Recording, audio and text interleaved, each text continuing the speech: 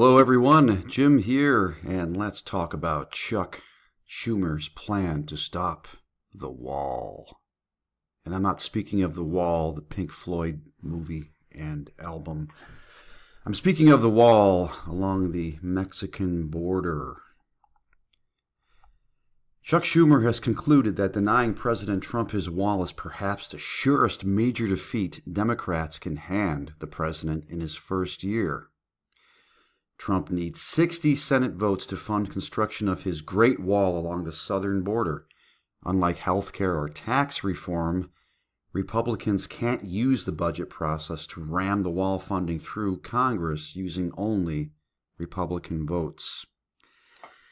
I'll read you a bit more here. Schumer's thinking there's nothing the Republicans would be willing to offer that could get Trump the eight Democratic senators he needs to fund the wall. Mitch McConnell, who is just another Democrat, I suppose, with an R after his name, Mitch McConnell's only other option would be to invoke the nuclear option and bypass the filibuster. He won't do that. Now, this evolving plan uh, being discussed by Schumer's office and Senate appropriators uh, basically, no matter what the Republicans do, any money they put up, the Democrats can block it and will block it.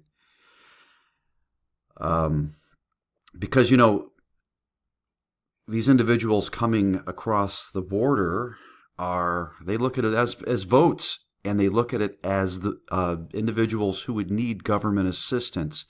And that's what these people are all about. They're all about uh, offering government assistance increasing the size of the machine the uh, the marxist democrat machine the dependency cycle generational and generational dependency you know, I live here in uh, the Socialist Republic of New York, and Chuck Schumer is a senator of this state. Of course, I never voted for the man. Um, but with all the things going on in the world right now, we, we have this to uh, distract us again for a moment. I my my thoughts are are this basically before I let you go, folks. I don't believe this wall is ever going to be built anyway, because I believe that our attention is uh, is our attention. Did I say tension? Well, tension too. Our attention is going to be diverted to other situations, other situations that will keep us too busy to be concerned about the wall and be concerned about terrorists that may be coming across the border um, illegal immigrants, whoever may be coming across that border, we're going to be diverted to something else. There's something else coming. The wall is yet another distraction.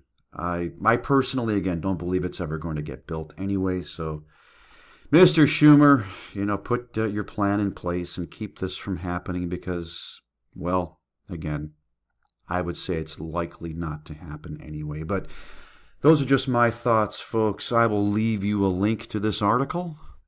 Uh, please hit the subscribe button. Please give this video a thumbs up. And please check out the links to my books and music below. I truly appreciate you, ladies and gentlemen. I truly do. Uh, subscribing, uh, watching these videos. I truly, I can't say enough, I appreciate you. God bless you, folks. Be safe. And I'll see you soon. This is Jim signing off.